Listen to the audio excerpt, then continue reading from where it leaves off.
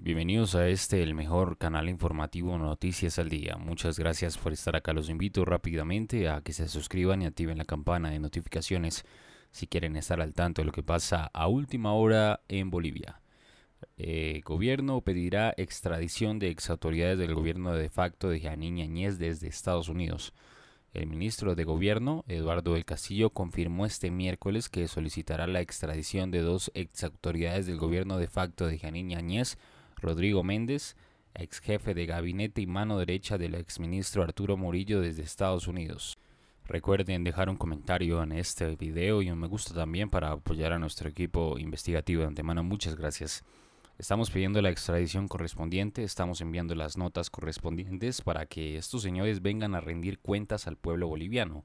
No es un pedido del gobierno, es un pedido de todo el pueblo boliviano porque durante la pandemia por el terror que sembraron, aprovecharon de sembrar narcotráfico y corrupción en nuestro país, dijo en conferencia de prensa. La autoridad explicó que las normas permiten iniciar el proceso en territorio boliviano, por ello dijo que se solicitará la extradición bajo dos conductos, uno por la activación del sello azul y posteriormente el sello rojo y también con el envío de una nota oficial al gobierno norteamericano. Del Castillo aseguró que se trabajará en la recuperación de todos los recursos del Estado que fueron malversados durante el régimen de Añez. Este clan mafioso del gobierno de Añez ya tiene un proceso legal abierto sobre este tema, ha sido abierto antes que recuperemos la democracia en nuestro país. ¿Qué opinan de esta información? Nuevamente los invito a que se suscriban y activen la campana de notificaciones si quieren estar al tanto de lo que pasa a última hora. Recuerden dejar un comentario y un me gusta. Gracias por estar acá. Esto es Noticias al Día. ¿Quién es la persona que está detenida en Estados Unidos por lavado de dinero y soborno desde el 21 de mayo de la presente gestión? Su nombre es Rodrigo Méndez Mendizábal, íntimo amigo del señor Arturo Murillo Prillic, con quien incluso, como podemos ver en imágenes, compartía la fiesta de Año Nuevo. Este señor fungía funciones como jefe de gabinete del señor Arturo Murillo. ¿Y con quién más se relacionaba antes de llegar a la exposición el señor Méndez? Aquí está el memorándum, como jefe de gabinete que fungía el ex entonces ministro de gobierno, el señor Méndez. Aquí lo podemos ver a Rodrigo Méndez con la señora Yanine Áñez. No en una sola oportunidad tenemos una gran cantidad de fotografías de la señora Áñez en conjunto con su familia. La anterior imagen podemos evidenciar que está la familia de la señora Áñez y en la siguiente imagen podemos evidenciar que se encuentra la familia del señor Rodrigo Méndez.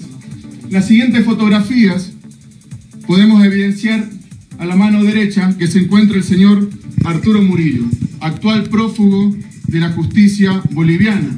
En la misma fotografía se encuentra el señor Aníbal Cruz, investigado por el pueblo boliviano y la justicia boliviana sobre la compra con sobreprecio de respiradores en Bolivia, en la época más lamentable que hemos tenido que vivir todos y cada uno de los bolivianos. En la fotografía se la puede evidenciar con una polera negra al señor Méndez, se encuentra la señora Áñez, otro prófugo de la justicia boliviana que es el señor Yerko Núñez y el señor Eric Forondo. En la siguiente fotografía podemos evidenciar otra parte del clan mafioso del gobierno de Áñez. Estamos hablando de otro prófugo de la justicia, el señor López Julio. Así también el señor Israel Alanoca, que quien fungía hace bastantes años como asesor personal del señor Arturo Murillo cuando él trabajaba como senador. En las imágenes también vemos a otro prófugo de la justicia, el señor Arturo Murillo, y quien también fungía, además del señor Méndez, como su director jurídico en el Ministerio de Gobierno. Estamos hablando del señor Barbosa.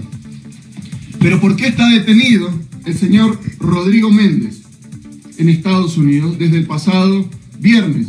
Por violar la ley de Estados Unidos contra las prácticas corruptas extranjeras. De acuerdo a las iniciales vemos la FCPA por sus siglas en inglés. Esta ley dice que es ilegal actuar de manera corrupta en cumplimiento de una oferta, promesa, autorización o pago de dinero o cualquier cosa de valor directa o indirectamente a un oficial extranjero. Pero ¿cómo llega a la jurisdicción de Estados Unidos. Y esto se debe a que han utilizado bancos del gobierno de Estados Unidos para cometer los delitos que van a ser explicados a continuación. Para esto necesitamos saber quiénes fungían dentro del núcleo duro del clan mafioso del gobierno de la señora Áñez. Aquí la vemos a la señora Yanine Áñez como ex senadora y de acuerdo a los papeles de investigación vemos que el señor Arturo Murillo sería el co-conspirador número uno y el co-conspirador número dos sería el señor Luis Fernando López, ambas autoridades puestas o personas de confianza de la señora Yanine Áñez. Ampliando este clan de la mafia del gobierno de Áñez, podemos demostrar que uno de sus mejores amigos de la infancia, al igual que el señor Luis Bergman, era su ex jefe de gabinete que se encuentra detenido en Estados Unidos, el señor Sergio Méndez Mendizábal, con quien tiene relacionamiento con el señor Luis Bergman. Estas tres personas se conocen desde el colegio y son las tres personas que habrían ayudado a retirar millones de dólares en favor de ellos mismos, en contra del pueblo boliviano. Esta triangulación, Luis Bergman, el padre de Brian Samuel Bergman, el dueño de la empresa Bravo Tactical Solution. Así también debemos señalar que este señor Luis Bergman es investigado desde julio del 2001 por tráfico de armas en Bolivia, pretendiendo traficar armas del ejército boliviano para que sean trasladadas al país vecino de Paraguay. Ya podemos evidenciar con estos datos que estas personas no solo defraudaban el Estado desde décadas anteriores, sino que ya estaban ligados al tráfico de armas en nuestro país. Esta es la empresa Bravo, Bravo Tactical Solution, a través de la cual empiezan a comprar con sobreprecio y como intermediario las armas para reprimir al pueblo boliviano. Lo novedoso, algo que no teníamos en investigación en Bolivia, es la participación del señor Philip Lichtenfeld. Este señor básicamente se constituye en un garante para la entrega de gases entre Bravo Tactical Solution y la empresa Condor de Brasil. Esto lo explicaremos más adelante de acuerdo a la denuncia criminal mediante teléfono y otros medios electrónicos confiables por un agente de Estados Unidos, el señor Jonathan Itz, del 20 de mayo del 2021 en Fort Lauderdale, al sur de Florida.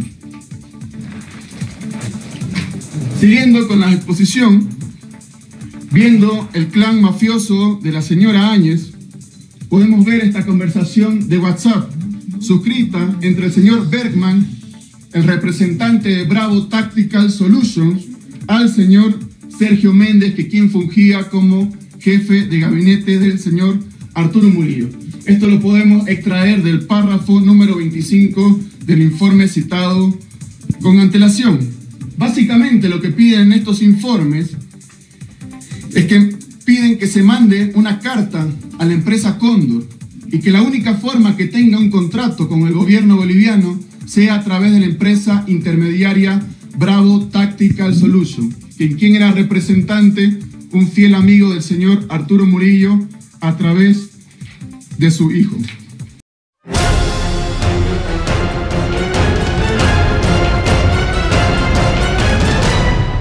Si no te quieres perder de los últimos acontecimientos que pasan en el mundo, suscríbete y activa la campana. Somos Noticias al Día.